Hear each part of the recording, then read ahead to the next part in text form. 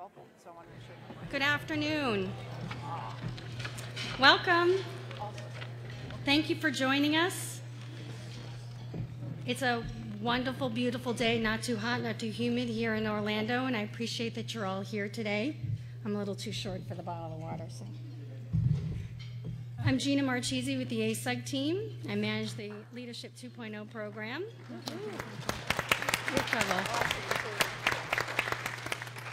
Welcome today uh, to our Leadership 2.0 panel, uh, Drive Innovation Through Personal Disruption.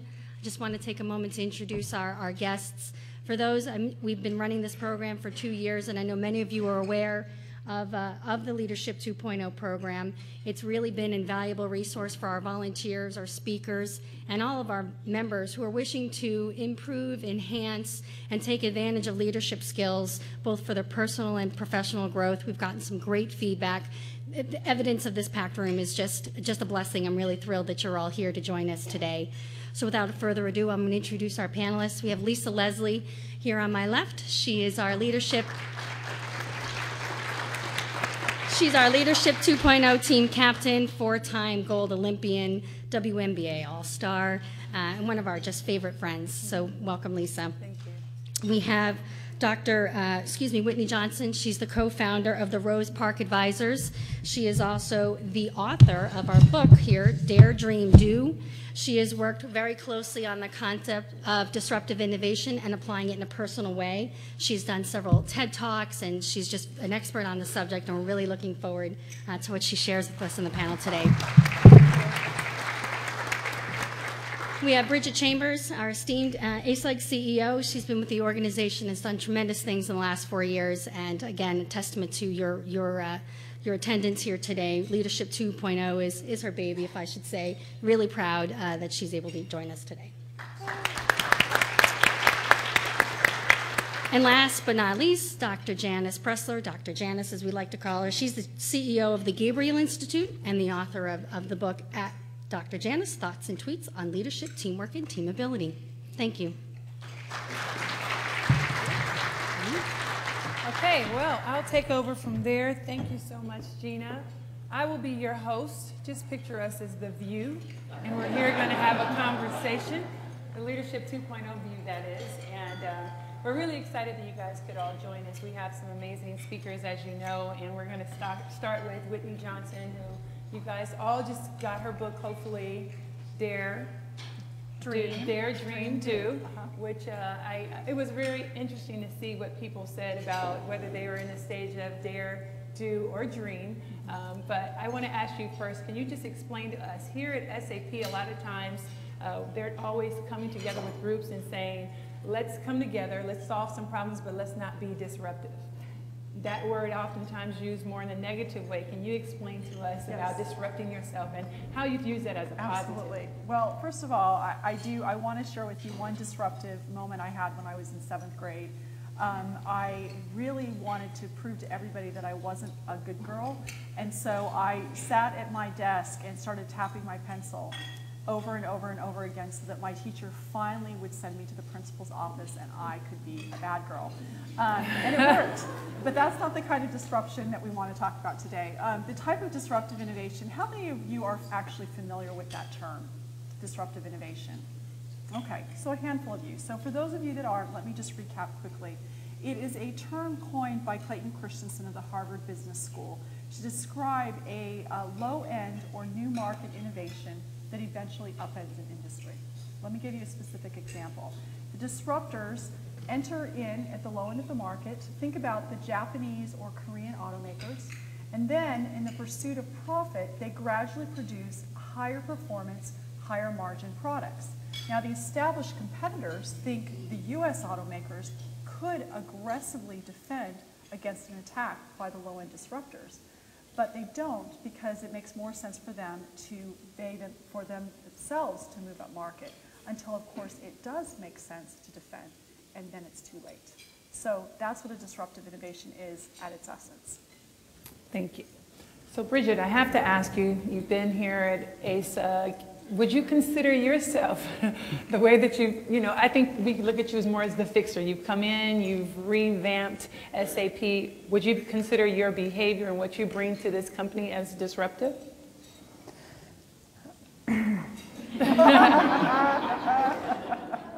I'm saying this, and I know that there's this town hall that happens on Friday with a lot of you, and I'm, I'm, I'm imagining how that goes. Uh, yeah, it's disruptive, but I think disruptive is fantastic. I think, I think a fit, healthy mind is always disruptive because you're never satisfied with what's in front of you today. You've got to great, you know, kind of push past that and, and find the next place. And so um, I hope to uh, always be considered disruptive. And if you think about it from an ASUG perspective, quite frankly, all of you are disruptive. You could be sitting in your desk or in your territory or in your place at work, but you're not satisfied with that. You're here today to gather education, networking contacts, continue to differentiate yourself. And you do that so that you can go back to your organization and be disruptive in a very valuable way. So um, I, think it's, I think it's a fantastic thing for all of us to consider one another. And Dr. Janice, I know that you come from the, as a psychologist, the teamability is, is your whole thing, but let's look at the science. Is there a science behind personal disruption? Completely. Well, there's the, there's the S curve, which Whitney will tell you about, which you can read about in the book.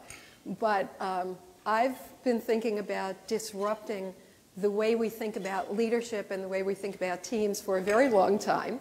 And uh, so teamability is a completely new technology, so it is pretty disruptive, uh, that predicts how people will work together on a team.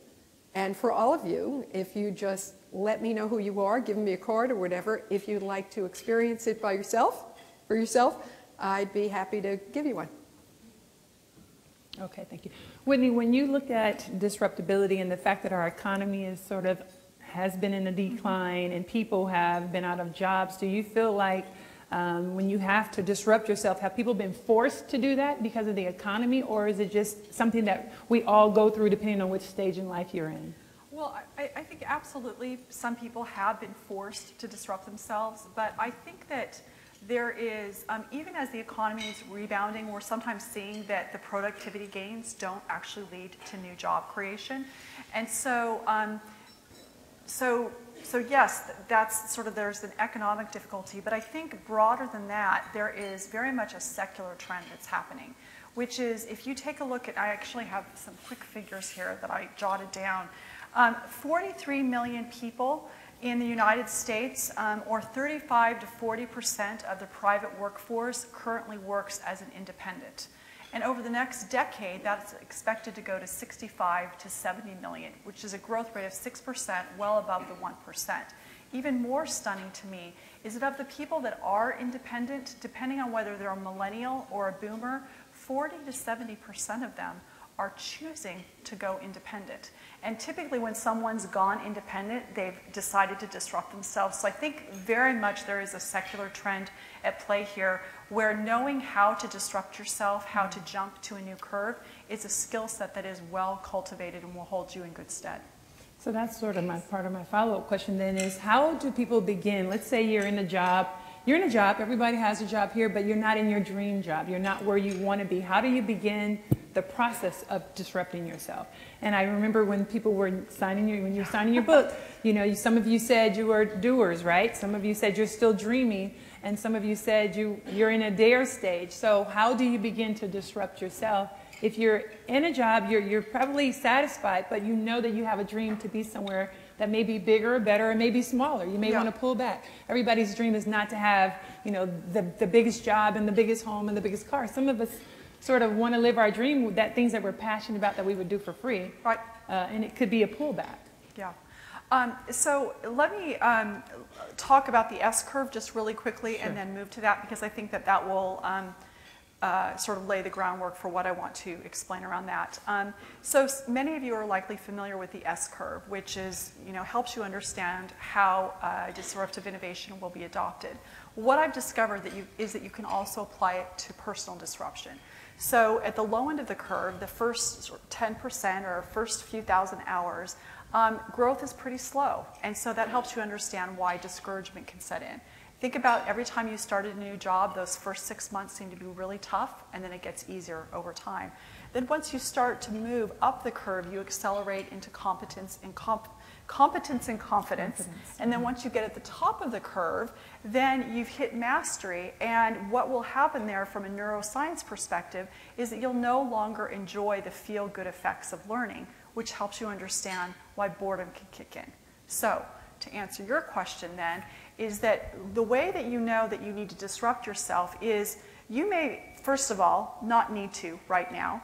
You may be going for a C suite job. You may be able to see exactly where you want to go and get from here to there. So, in which case, you don't need to disrupt yourself. But if you're at the top of that curve and you feel like you're bored, then that plateau that you're on can actually become a precipice. And whereas you may not disrupt yourself, you may get disrupted. And so that's when you know that it's time for you to start thinking about what do I need to do next. Okay, and so Bridgette, when you think about being disruptive, what are some of the risks that come along with that as a leader or even if you're working in a group? Well, I think risk is present in everything you do. It's a, you have to take a 360 view of where you are and consider risks. They, they might be professional in nature, uh, they may be personal in nature, they might be financial in nature. Uh, if you're thinking from an organizational perspective, you could expand that and think from a customer, from a supplier, so on and so forth. Uh, but anytime you make a change, we all know this, there's a significant amount of individuals uh, and groups that are uncomfortable with change, right? Uh, somehow it's not until the change becomes the present and people have accepted it and it's really no longer change anymore, it's yesterday's news, that people become comfortable with it. So anytime you endeavor to go outside of those normal boundaries and be disruptive, even if it's purposeful, uh, you risk having negative feedback, having questions, so on and so forth. Uh, I've learned that if I'm getting feedback that seems constructive in nature, that I'm going in the right direction. Because people are not necessarily questioning the value of the program, the decision, and if it's personal in nature, your own direction that you're going in. People are questioning it because you're stepping outside of something that is normal and comfortable. And so I take constructive feedback or even feedback when it seems more so than constructive, which sometimes happens in our world, right? Uh, I, I take it as a signal that we need, to, we need to listen. You don't have to be a leader by consensus. So just because everyone isn't agreeing with you doesn't mean you're in the wrong place. But you need to have your ears open and listen to what people are saying. Take it in. And if you're still on the right road for yourself or for your organization, you press forward. You just press forward and press forward. And that constructive feedback will turn into a bit of a compass for you so that you know how to work with those that are dealing with change now, right? And sometimes it's funny. It's the things that are most disruptive and uncomfortable for people dealing with change that later become the thing that they're so comfortable with because they just didn't know what was on the other side of that change initiative. So I, I think risk is an imperative in many ways. You just have to make sure that you're embracing it in a way where you've, you've mitigated what you need to and, uh, and, and you've got a way to explain and continue to take in feedback so that people continue to understand what you're doing as you move forward. Communication is the key. Communication. Okay, so, so Dr. J, we're going to call Dr. Janice Dr. J, since I come from the basketball world. When you talk about teams and disruptive behavior, how does that affect the whole team when you have sort of an individual? Um, I remember on our conference call we talked about, you know, you brought up T.O., Terrell Owens. You have these certain athletes or people uh, that are in groups that are really in their moment of doing and daring and they're moving as an individual, but how does that affect the whole team? And if they're being disruptive, can it be uh, seen in a positive way and also in a negative way? It depends on if it's a positive disruption or a negative one. You know, in T.O.'s case, he was, he is uh, physically magnificent, uh, can do things better than everyone. And we've all worked on teams where we've had the rock star who can do things that we can't do, except that they can't get along with anybody. And so it takes the team and it just rips it apart. You know, if you're going through change, what people really want to know is, what am I, am I going to be allowed to contribute in the way that really makes me feel good? I mean, isn't that really it?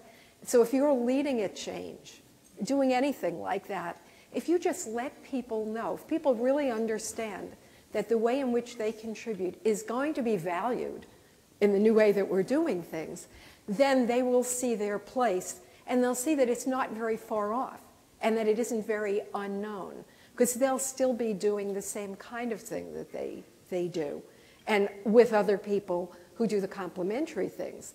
But if all of a sudden it's so insanely disruptive that we're going to, uh, one example uh, from a very simple uh, thing was, uh, was a, a, branch bank that, where they decided that everyone had to sell something every day. Well, if you know most people who like to help you with the bank, they don't really like to sell. They just want to be friendly and help you. Um, let's just say the turnover went way up and deservedly so until they got rid of that. Think about what that means in any change management project that you're doing.